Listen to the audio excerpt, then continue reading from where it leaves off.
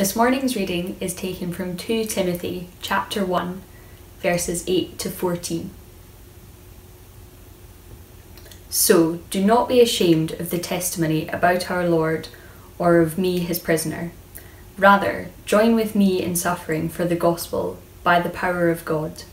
He has saved us and called us to a holy life, not because of anything that we have done, but because of his own purpose and grace. This grace was given us in Christ Jesus before the beginning of time, but is now been revealed through the appearance of our Saviour, Jesus Christ, who has destroyed death and brought life and immortality to light through the gospel. And of this gospel I was appointed a herald and an apostle and a teacher. That is why I am suffering as I am. Yet this is no cause for shame, because I know whom I have believed, and I'm convinced that he is able to guard what I have entrusted to him until that day. What you heard from me, keep as the pattern of sound teaching with faith and love in Christ Jesus. Guard the good deposit that was entrusted to you. Guard it with the help of the Holy Spirit who lives in us. This is the word of the Lord. Good morning, everybody. Uh, my name's Stuart, and I'm one of the associate vicars here. And this morning we're going to be continuing uh, in our series going through the book of 2 Timothy, as we've just had read for us. And our sermon series at the moment is called How to Make Your Life Count. Each and every one of us has been made by God and called by God to live a life that makes an eternal difference.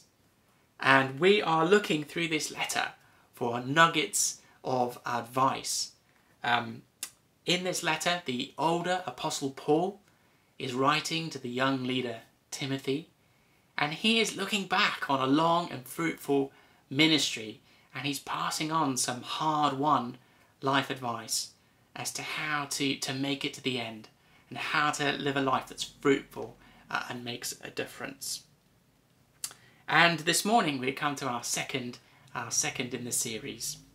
And um, the message that Paul has for us this morning is, is very simple, but it's very challenging.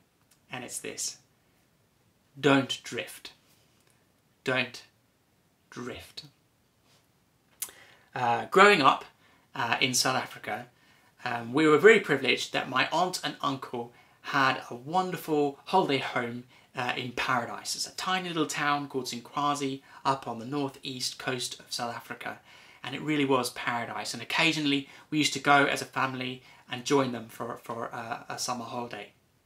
And in particular, in this little uh, town, um, the beach was incredible. It had absolutely everything you could want in a beach. It had real life genuine palm trees, it had a lagoon, it had amazing white sand, and it had enormous waves to go swimming in. We really used to go uh, enjoy going um, for, for a holiday there. This beach was perfect um, except for one thing. There was only one flaw uh, with this amazing beach in my humble opinion. Uh, well, actually, there were also sharks. That was another problem, but that's pretty standard in South Africa. But the, apart from the sharks, there was the one thing that was wrong with this beach was the, the rip current.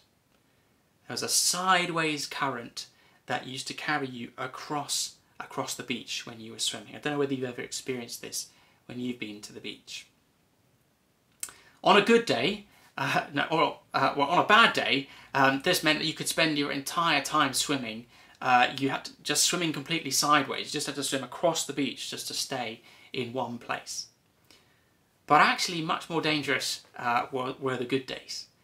Uh, and I remember many, many um, times I would be playing ball with my brother um, or I'd be swimming with my cousin, and then uh, suddenly you'd hear the sharp, shrill sound of the lifeguard's whistle, and you'd look up, and you'd realise that without, without, without knowing, uh, you had just drifted.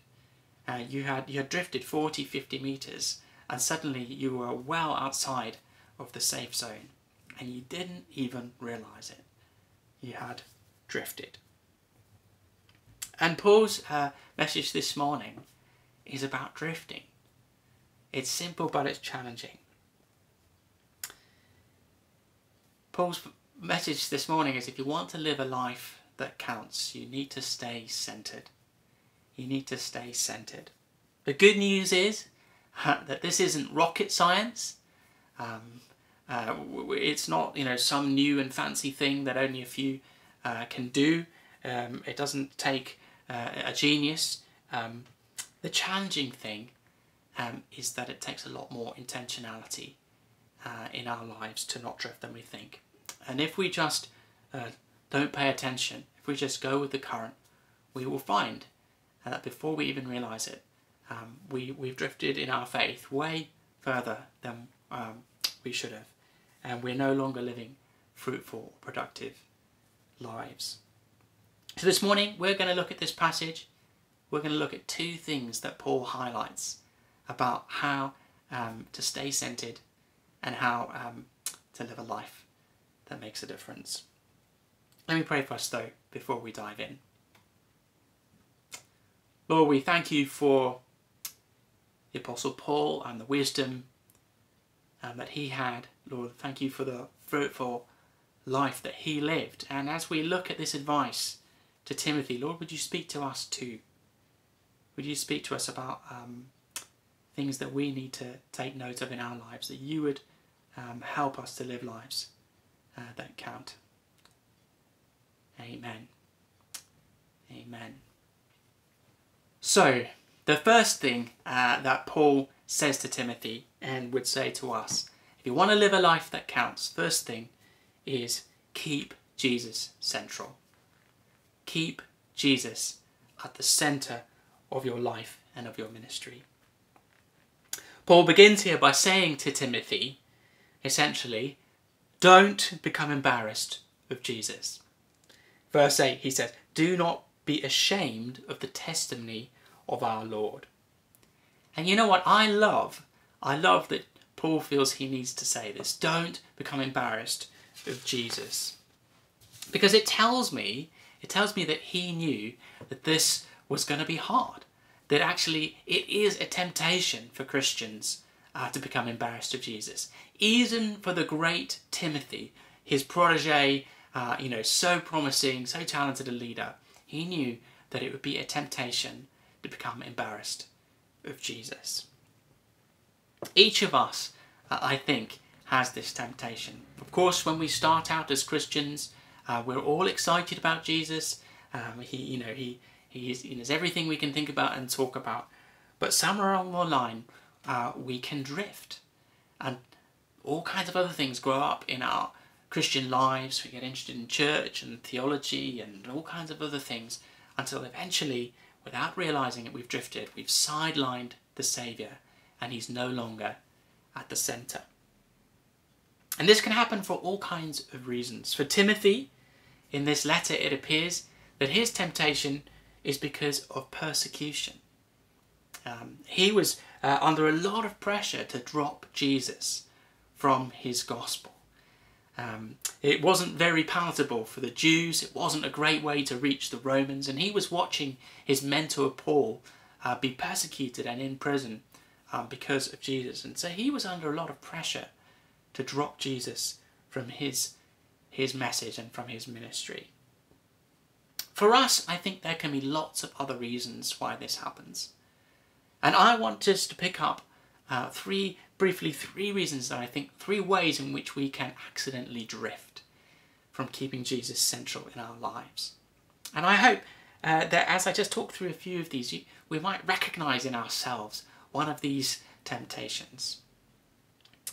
The first one um, is we are tempted to get bored of Jesus. I know this, uh, this is a temptation for me.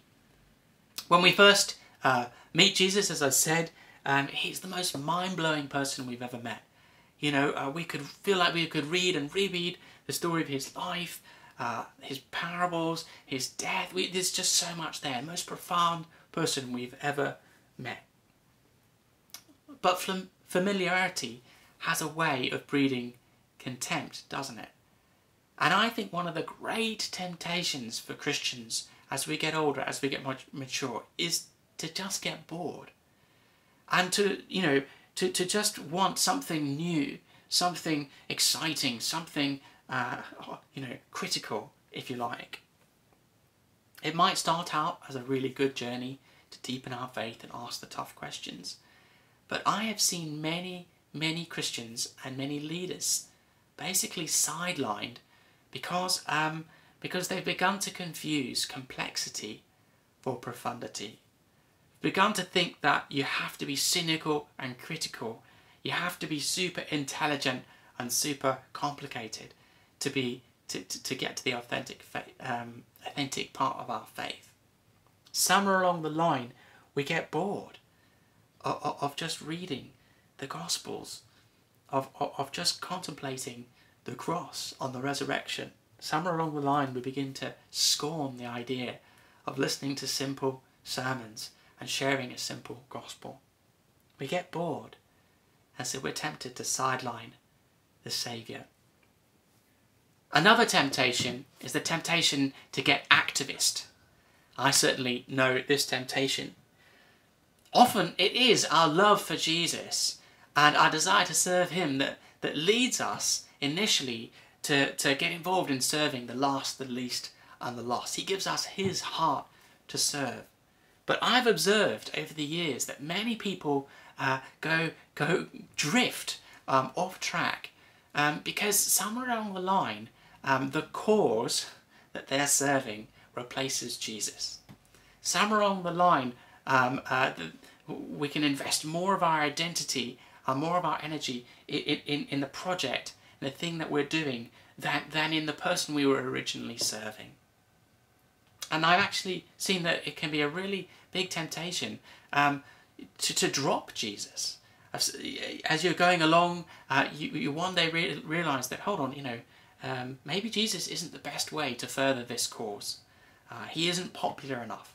He's not the best way uh, to, to, to work with others. He, he's not popular with Christians. He doesn't raise money well. And somewhere along the line, we can be tempted to sideline the Saviour for the sake of the cause, whatever it is. And then a third way, and I think it's just much more simple, is that we just get tired.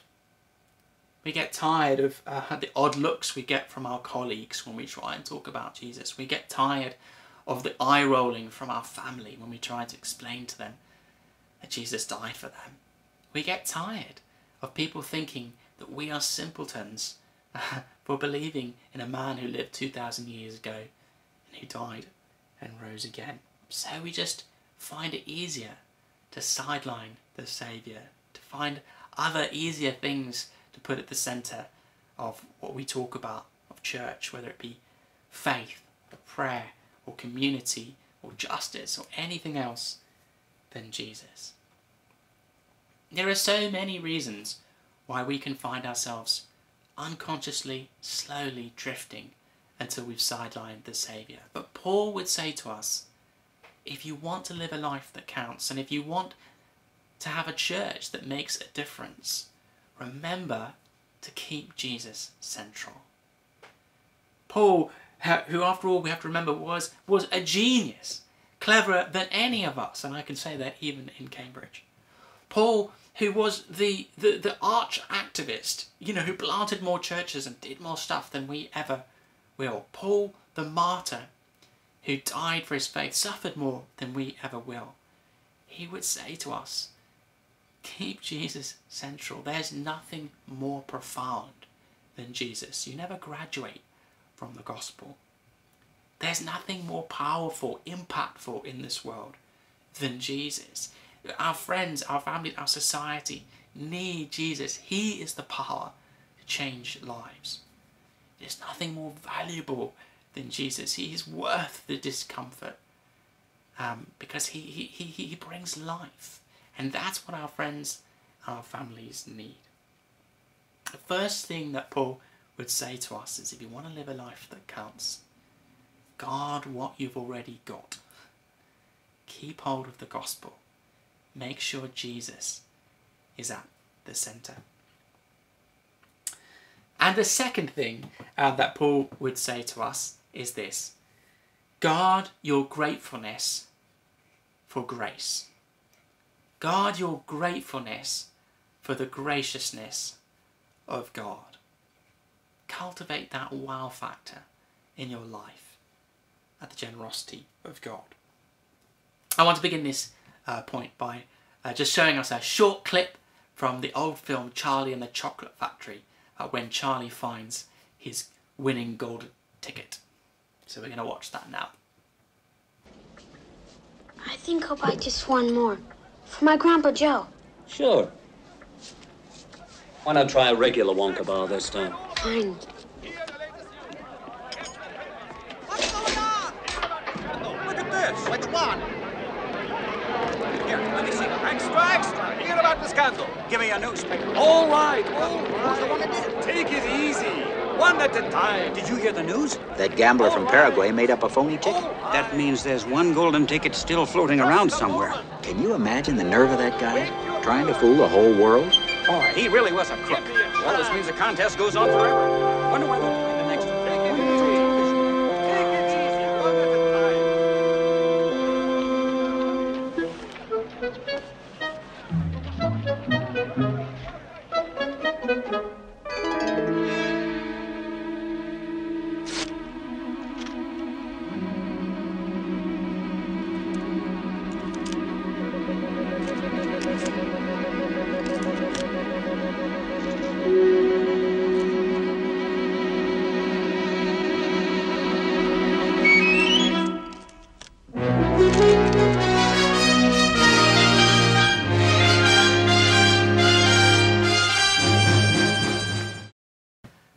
wonder, do you remember that feeling in your faith?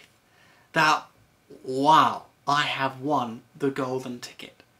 That, that moment when it began to dawn on you all that God had done for you. Uh, you know, wow, Lord, you, you lived for me. You came to earth. You died for me. You've forgiven me. You've adopted me into your family. You've given me just wow, wow, wow, wow.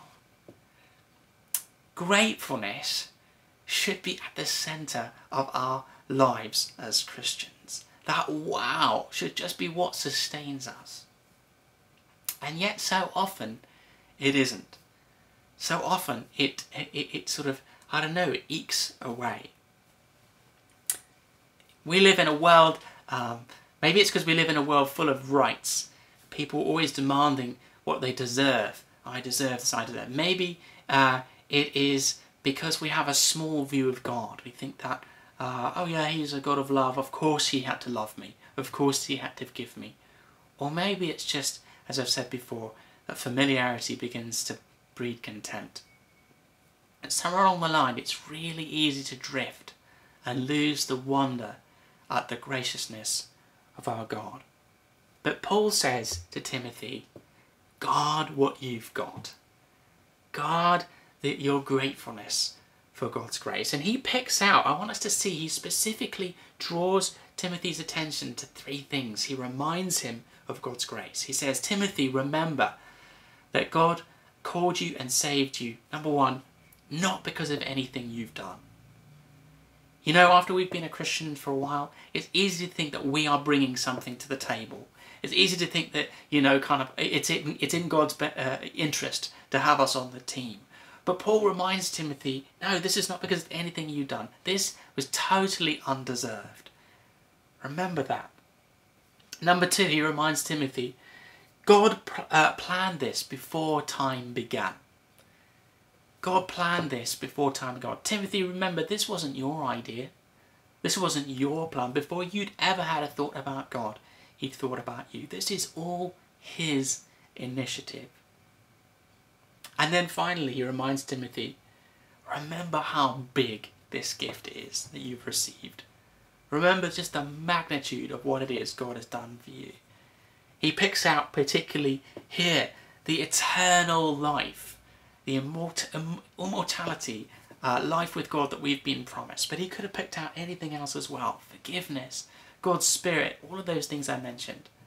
Sometimes we have to remember just how big, just how extraordinary, just how mind blowing it is the things that our God has given us. When did we get bored of this?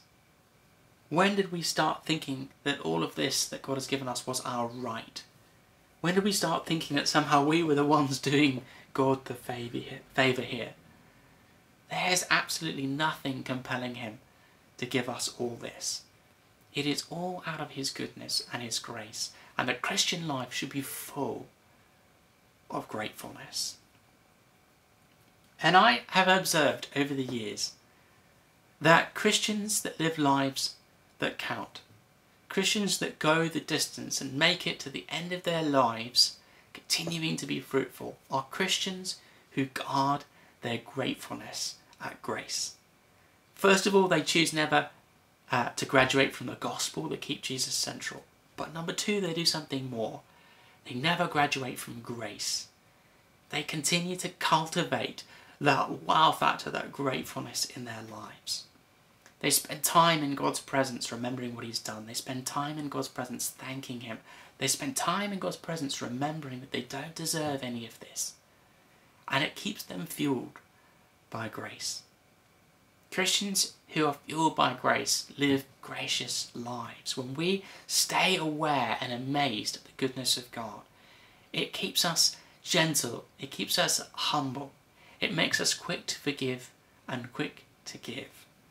Lives lived out of grace and gratefulness are lives that make a difference.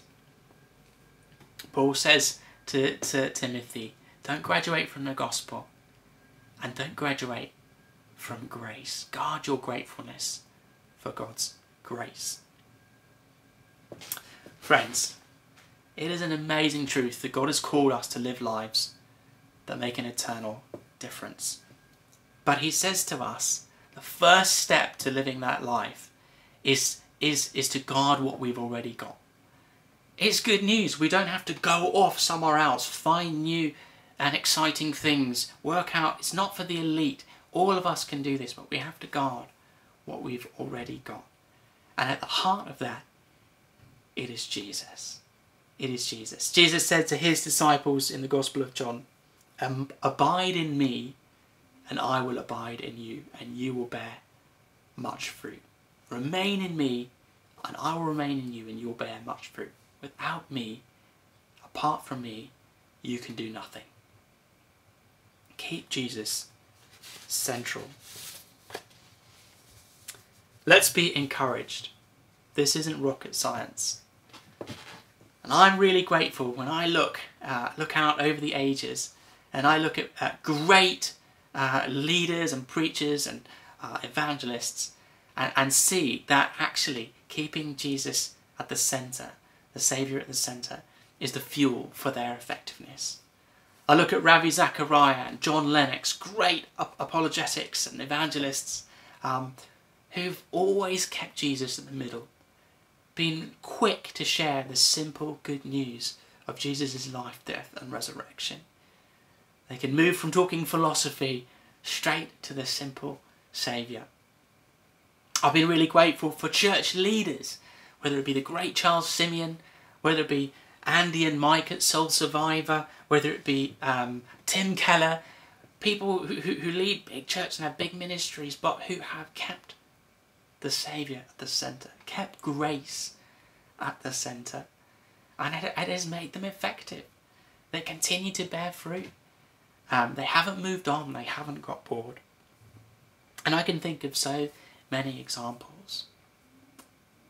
And it's true for us too when we look around us at Christians who are still bearing fruit, it's because they've not graduated from gospel and they've not graduated from grace. So let's be encouraged. This is an encouragement for us this morning. Let's choose not to get bored of Jesus. Let's choose not to accidentally drift and sideline the Saviour. Let's choose to cultivate our relationship with Him. Let's choose to cultivate our wow and our gratefulness for the grace He's poured out in our lives. Let's choose to abide in Him and trust as He promised that as we do, He will make us, uh, He will make our lives count.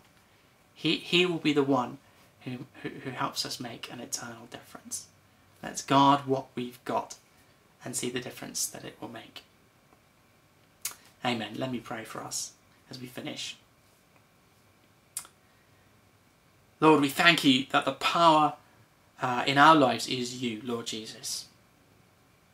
And Lord, we want to pray that you would help us to keep you at the centre. And Lord, if there are any of us this morning who've sort of realised that we've drifted, that our vital connection with you is waning, that we've filled our lives with so many other things, filled our faith with so many other things than you, we pray that you would call us back to you.